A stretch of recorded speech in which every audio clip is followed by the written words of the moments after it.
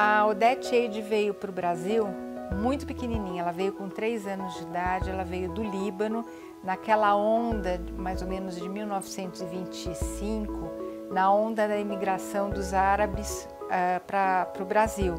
A mãe dela, ela era incrível, a minha avó, ela pintava, ela era copista, ela gostava de copiar os, os grandes mestres do Renascimento e ela cuidava da família. Eram seis crianças, você imagina, seis crianças num apartamento pequeno e ela pintando. Eh, eu me lembro, lógico, depois que eu nasci, eu me lembro que eu era pequenininha, eu ia visitar a minha avó, ela tinha um cavalete de pintura na cozinha e ela mexia a panela enquanto ela uma pincelada e outra. E a mamãe cresceu, a Odete cresceu nesse ambiente, cheirando tinta, nesse ambiente de pincéis Inclusive, ela sempre achou que ela fosse é, ser uma pintora, mas a vida levou ela para outro caminho. Eu sempre fui muito boa em desenho no ginásio. E os professores sempre falavam que eu tinha que ser artista. Eu pensei que eu seria pintora.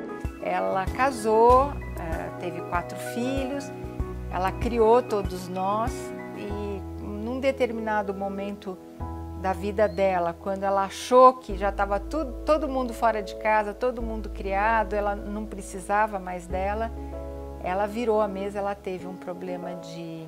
Ela teve um câncer de mama aos 54 anos, se tratou e aí aos 60 ela virou a mesa, percebeu que o negócio dela era arte, que o talento dela era arte.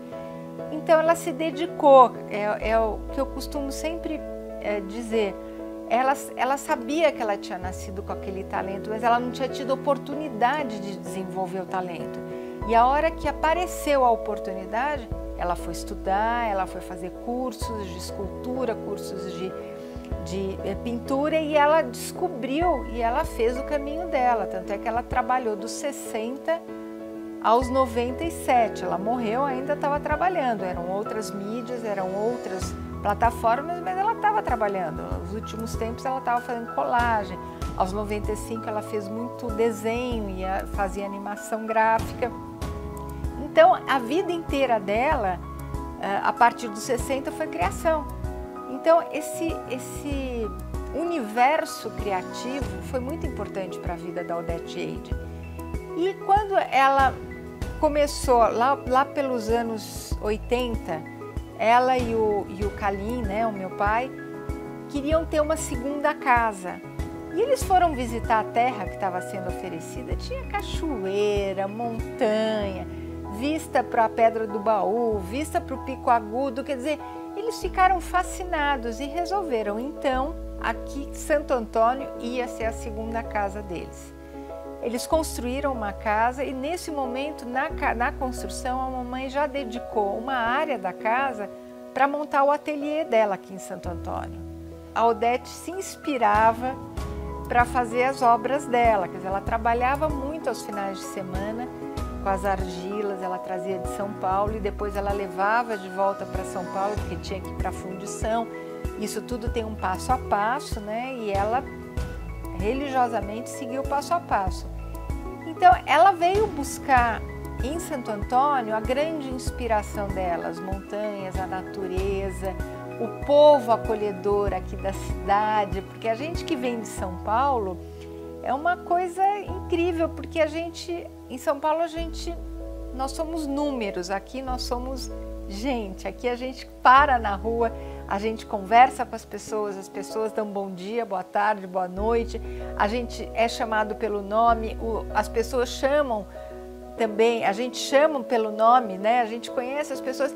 E esse mundo encantou a Odete e o Kalim. Então eles realmente fizeram disso daqui o segundo mundo deles, dessa desse pedaço da Serra da Mantiqueira que é Santo Antônio do Pinhal. E eu acho que agora nada mais justo de devolver para a cidade aquela inspiração que ela teve aqui. Devolvendo como? Em forma das, das esculturas que ela se inspirou aqui.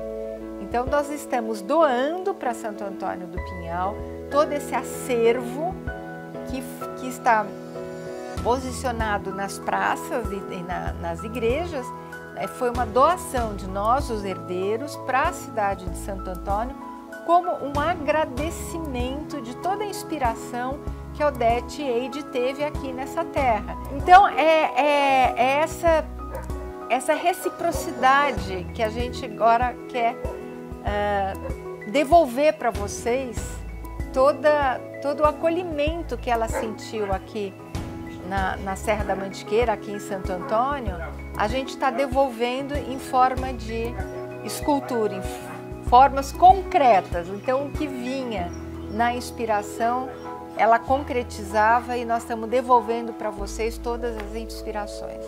E foi assim, minha filha, que eu cheguei aos 95 anos, feliz da vida de poder fazer o que eu queria, o que eu sonhei fazer.